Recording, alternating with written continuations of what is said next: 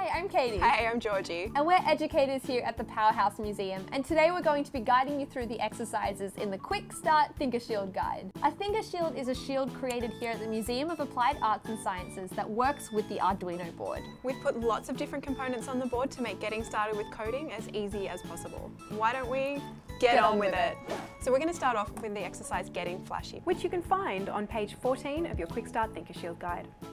If you don't have the Quick Start Guide, you can download it for free as a PDF from our website. Let's have a quick look at the empty project. Every Arduino script has a setup function which runs once, and it lets you initialize things and loop a function which runs forever and ever. Now the code for these functions goes in between braces, which look like curly brackets. We're going to start by declaring a variable. This is like a container or a bucket which holds things.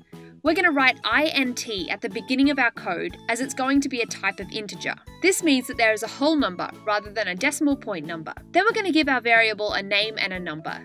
That number is the LED which will be turned on. Have a look at your Thinker Thinkershield to determine the pin of the LED which you want to turn on. And make sure to always put a semicolon at the end of your code, it's kind of like putting a full stop there.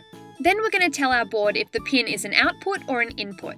To do this, we go to our setup function which runs once when you turn the board on and write pin mode LED pin equals output.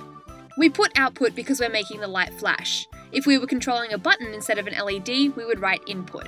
Next, we go to our loop function, which runs forever and ever, and if we write digital write LED pin high, our light will be turned on, as high represents the voltage level.